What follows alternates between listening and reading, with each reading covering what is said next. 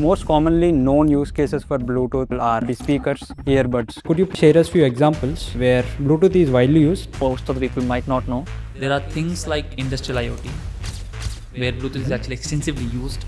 Do you have such generations in Bluetooth as well? We have five versions of Bluetooth till now. When Bluetooth just came up, the job was to do short range communication. A new protocol came up, something called as Bluetooth Low Energy, and it actually completely changed the perspective of Bluetooth. Now, Bluetooth is different and Bluetooth Low Energy is different. It focused majorly on Can you explain how their devices are communicating? There are actually two things. One acts as a central and one more acts as a peripheral. This peripheral is the one who is actually sending out this advertisement and the central is the one who actually initiates the connection. Can you share frequency range of Bluetooth? Actually, Bluetooth and Wi-Fi, they both exist in the same spectrum. They actually use the 2.4 gigahertz spectrum. There's obviously a problem, but